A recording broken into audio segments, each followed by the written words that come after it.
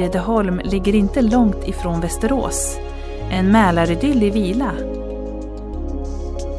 En pärla få nyttjar idag.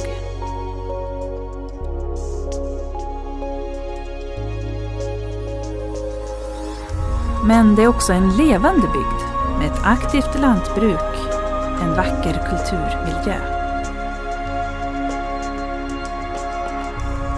Med djur, ekologiskt lantbruk och en välbevarad herrgård. Och en unik natur. Gäddeholms stora orörda områden ska bevaras och utvecklas.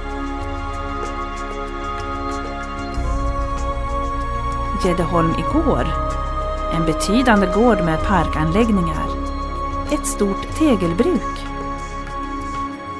En spännande och anrik historia.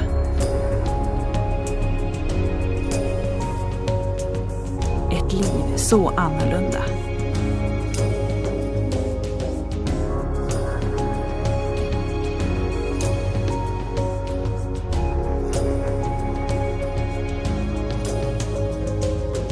Västerås är Mälarstaden som växer vid vattnet.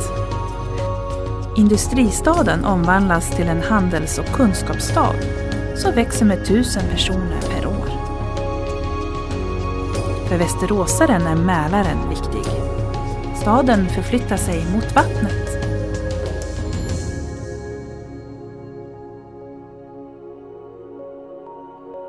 Bebyggelsen i Hedeholm förläggs enbart i dagens skogspartier. Utbyggnaden sker etappvis.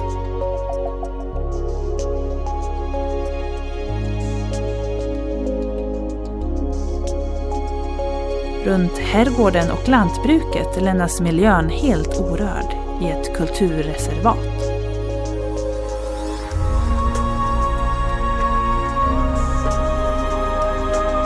En ny och större marina ska byggas. Det öppna landskapet bevaras.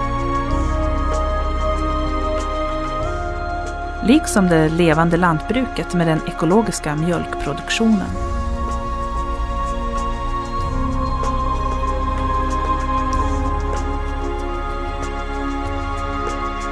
I planerna är flera hästgårdar inplanerade.